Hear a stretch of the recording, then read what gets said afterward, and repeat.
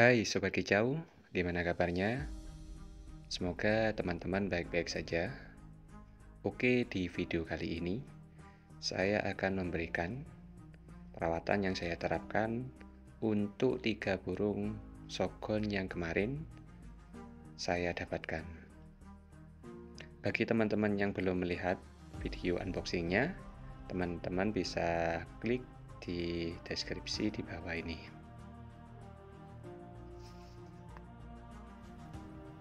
Beberapa hari kemarin, burung yang saya dapatkan dari Om Biokan itu saya kondisikan terlebih dahulu. Jadi, kalau burung bahan, kita perlu mengkondisikannya terlebih dahulu agar burungnya bisa beradaptasi kepada lingkungan barunya. Lalu seperti apa pola rawatan yang saya terapkan untuk tiga burung ekor sogon ini?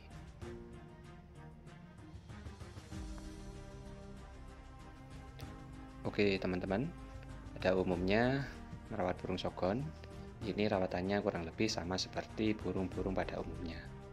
Namun, ini ada beberapa hal yang perlu diperhatikan, yakni pertama, teman-teman perlu untuk mengeluarkan burung pada waktu pagi hari atau kita lakukan pengembunan pada jam 5 pagi. Setelah teman-teman melakukan pengembunan, teman-teman bisa melakukan pemandian untuk burung sogon. Nah, pemandian ini ini saya terapkan biasanya saya mandikan ketika burungnya sudah beradaptasi atau sudah nyaman di sangkarnya. Nah, pemandian ini tujuannya untuk mengurangi giras pada burung sogon. Untuk pemandian, teman-teman bisa mandikan tiga hari sekali Bila mana teman-teman tidak sempat memandikannya pada waktu pagi hari, teman-teman bisa memandikannya pada waktu sore hari.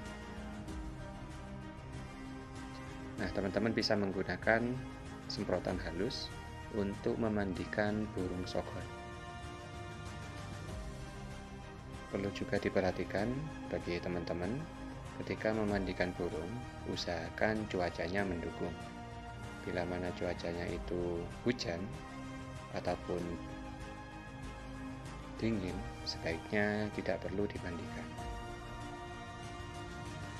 Jadi, kalaupun burung sogon itu kita mandikan pada waktu siang hari, sebenarnya tidak masalah, tergantung teman-teman memberikan perawatannya sesempat mungkin untuk melakukan pemandian.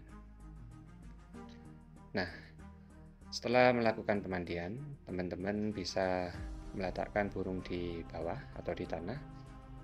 Tujuan meletakkan burung di tanah ialah agar bisa beradaptasi dengan lingkungan dan juga keramaian. Biarkan burung sogon bisa beradaptasi dengan perawatan yang kita berikan. Jangan lupa teman-teman untuk selalu mengawasi burung sogon ketika kita letakkan di bawah. Karena biasanya kalau di sekitar rumah kita itu ada kucing. Sebaiknya kita jaga agar terhindar dari serangan predator seperti kucing. Agar paling tidak burung sogon itu merasa aman ketika kita letakkan di bawah.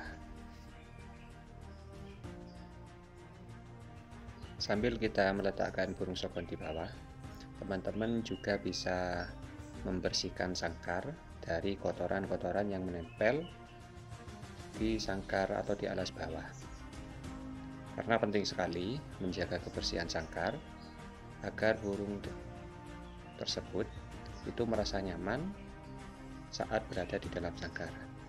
Jadi kebersihan merupakan faktor utama dalam merawat burung. Kalau sangkarnya bersih burung bisa menjadi nyaman berada di dalam sangkarnya. Lakukan pembersihan setiap hari, mulai dari pagi maupun sore hari. Oke, untuk perawatan yang ketiga, untuk pakan, ini karena burung pemakan nektar, maka kita berikan nektar dengan racikan yang kita berikan. Nah, untuk racikan ini bebas teman-teman, bisa menggunakan apa saja. Kalau untuk saya, ini saya gunakan untuk susu kental manis, kemudian marjan dan juga madu. Untuk nektar, ini tidak menjadi patokan. Bebas teman-teman memberikannya jenis apa saja. Dan untuk pola rawatan yang selanjutnya ialah melakukan penjemuran. Untuk penjemuran, saya menerapkan penjemuran ini selama 30 menit. Kemudian saya tingkatkan lagi menjadi satu jam. Jadi kita perlu bertahap untuk melakukan penjemuran dalam merawat burung sogon. Nah ketika melakukan penjemuran usahakan nektar yang ada di dalam sangkar itu kita cabut agar tidak terkena sinar matahari.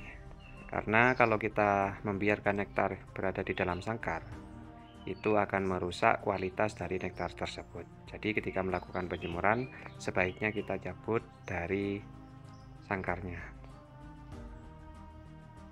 Nah itu dia pola perawatan yang saya terapkan untuk tiga burung bahan yang saya dapatkan kemarin dengan harga Rp50.000 jadi pola perawatan ini kita terlebih dahulu memfokuskan agar burungnya sehat terlebih dahulu.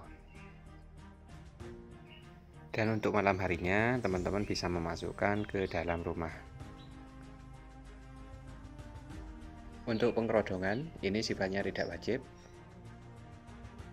Jika teman-teman mempunyai kerodong bisa mengkerodong burung pada waktu malam hari. Jika tidak punya itu tidak menjadi masalah. Yang terpenting burungnya itu nyaman dengan pola perawatan yang kita berikan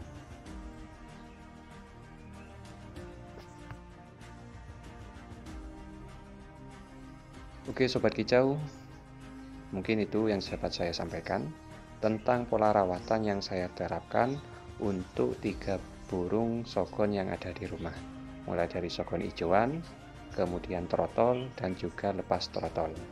Semoga untuk ke depannya burung ini bisa membawakan hasil yang maksimal dengan rawatan-rawatan yang saya terapkan. Terima kasih yang telah menonton video ini sampai selesai. Jika ada pertanyaan, silakan teman-teman tuliskan di dalam kolom komentar. Selamat menikmati proses dan salam kicau mania. Jangan lupa like, subscribe, dan juga komen.